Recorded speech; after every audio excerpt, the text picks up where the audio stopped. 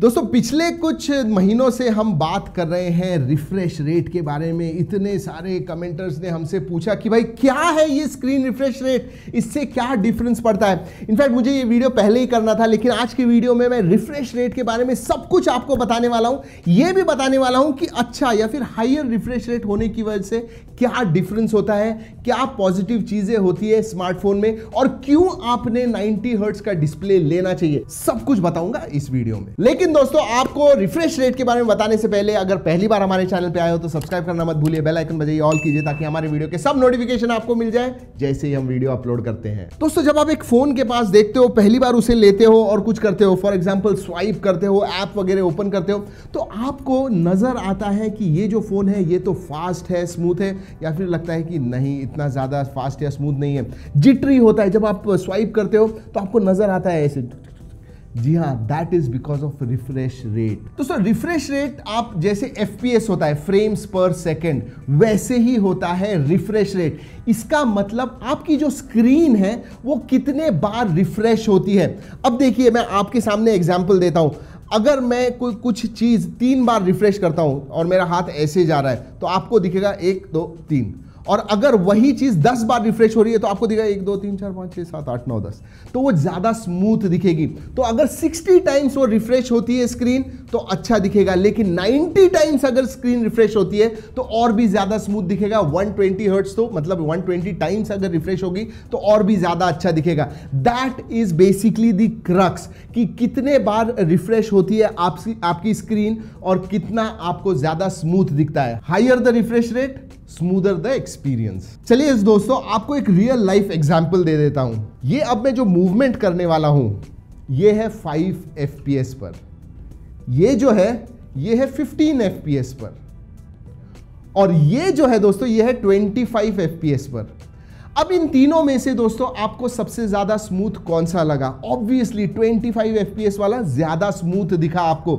Yes refresh rate का जो science है, वही है कि आपकी स्क्रीन जो है रिफ्रेश होती है, जितनी ज़्यादा रिफ्रेश होती है, उतना ज़्यादा स्मूथ होता है आपका एक्सपीरियंस तो आजकल का सिनारियो क्या है स्मार्टफोन्स का?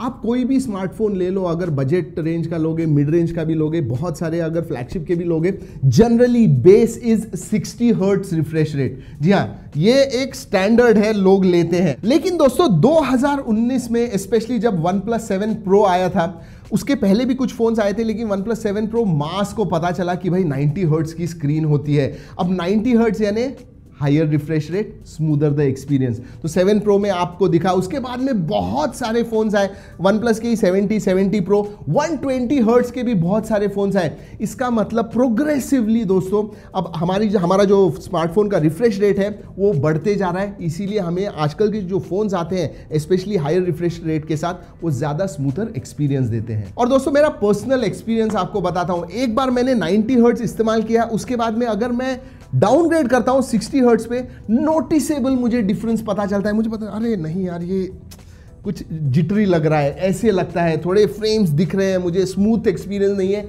ऐसे लगता है। तो 60 हर्ट्स और 90 हर्ट्स में बहुत ज़्यादा डिफरेंस है और इसीलिए मैं आपको बताऊँगा, अगर आप ले सकते हो हाइयर रिफ्रेश रेट की 120 हर्ट्स की ज़रूरत नहीं है 90 और 120 हर्ट्स में ज़्यादा डिफरेंस नहीं लगता है, लेकिन 90 हर्ट्स जो है definitely is the sweet spot बहुत अच्छी तरह से एटलीस्ट आपकी जो स्मार्टफ़ोन की स्क्रीन है, वो आपको दिखेगी। लेकिन इसका एक डिसएडवांटेज भी है। जी हाँ अगर आपको ज़्यादा रिफ्रेश करने हैं स्क्रीन इसका मतलब ज़्यादा पावर कंजम्पशन होगा। और यही बात है अबाउट 15 10 टू 15 परसेंट आपकी जो बैटरी है जल्दी घटेगी। याद रखिए 60 हर्ट्स पे इतनी नहीं लेकिन अगर 90 हर्ट्ज या 120 हर्ट्स पे करते हो तो अबाउट 15 टू 20 परसेंट ज़्यादा बैटरी खाएगा। और दोस्तों, आप जब नॉर्मल चीज़ें करते हो, इसमें आपको ये नज़र नहीं आएगा, लेकिन स्पेशली जब आप वीडियो व्यू करते हो या फिर गेम्स वगैरह खेलते हो, क्योंकि फास्ट एक्शन होता है तो उसमें आपको डेफिनेटली नज़र आता है। जब आप गोलियाँ वगैरह झाड़ रहे हो एफपीएस गेम खेल रहे हो तो जो बुलेट होती है, वो पिक्सलेटेड कभी कभी दिखती है, जो फास्ट एक्शन सीन्स होते हैं। हायर रिफ्रेश रेट में ये आपको नहीं दिखता है, बहुत ही स्मूथ स्क्रीन दिखती है। और हाँ दोस्तों रिफ्रेश रेट के बारे में ही बात कर रहे हैं तो और एक रिफ्रेश रेट होता है जिसका नाम है touch refresh rate yes for example iPhone पे डिस्प्ले जो है 60 हर्ट्स पे है बट जो टच रिफ्रेश रेट है वो 120 ट्वेंटी हर्ट्स है. इसका मतलब आपका जो टच है, वो ज़्यादा जल्दी वो जल्दी वो रजिस्टर करता है और ज़्यादा जल्दी आपको रिस्पॉन्स मिलता है. और हाँ दोस्तों हायर रिफ्रेश रेट सभी पैनल सपोर्ट करते हैं मतलब आईपीएस हो एलसीडी हो, या फिर आपके एमोलेट सुपर एमोलेट स्क्रीन भी हो, सभी पे चलता है. So that is one common इसीलिए दोस्तों आपको के थर्टी में इसका अनबॉक्सिंग नहीं देखा तो ज़रूर देखिएगा।